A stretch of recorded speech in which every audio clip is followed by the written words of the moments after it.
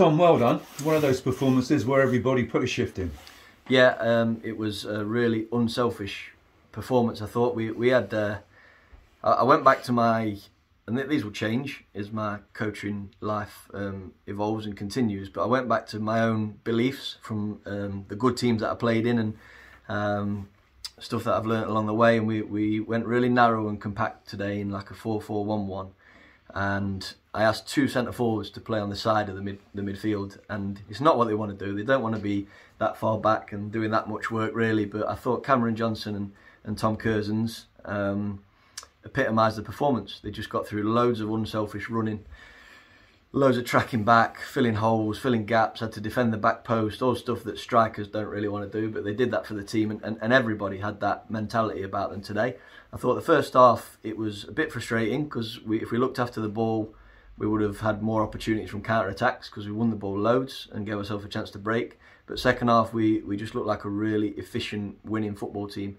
Didn't give them much at all. Um, you can see they've got some talented players in their squad and they've been a very good run. But we, we deserved a clean sheet and, and we deserve to win, in, in my opinion. And I just, yeah, I said to the players, the most unselfish performance of the season. Team first in everything we did um, and some big performances. You must be proud of the squad because looking back to August when you played Mickleover away to what you're playing now, not only has the clientele changed considerably, but the style and the confidence and the belief has as well. Yeah, I absolutely agree. Um, seems a long, long time ago now. Um, remember speaking, I know their manager very well, and ex-teammate, and remember speaking to him after the game, and felt we were, we were a long way off Mickleover on that on that night, and today proves that we, we've come a long way as a group and just been shown the league table. And we we um, we can finish 13th this year if we do some good work, maybe even 12th looking at it, but we, we can finish mid-table um, if we apply ourselves properly in the last three games and that would be a big overachievement for this football club with with, the, with what we've had to do this year. Um, I think the second half, the most pleasing bit was I saw some really young lads go up against men. They've got blokes in their team that play at a good level and they play with like cuteness to them, bit of nous, bit of intelligence. Thought we killed the game brilliantly. Just saw some some lads grow up, and I think the the run of games I keep talking about since FC the FC United game, we've been excellent. We've come on the wrong side of a few results, but just look like a really good football team for this level, and our form probably shows that.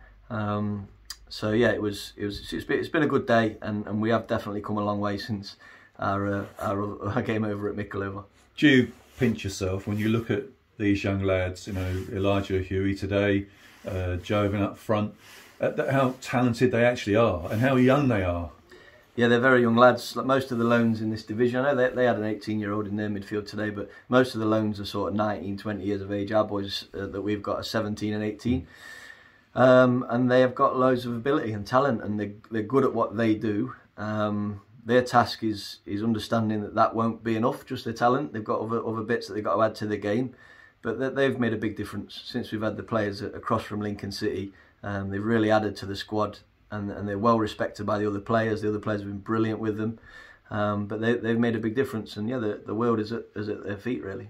Fantastic. Well done today, Tom. It was a well deserved victory. Thank you very much. Cheers.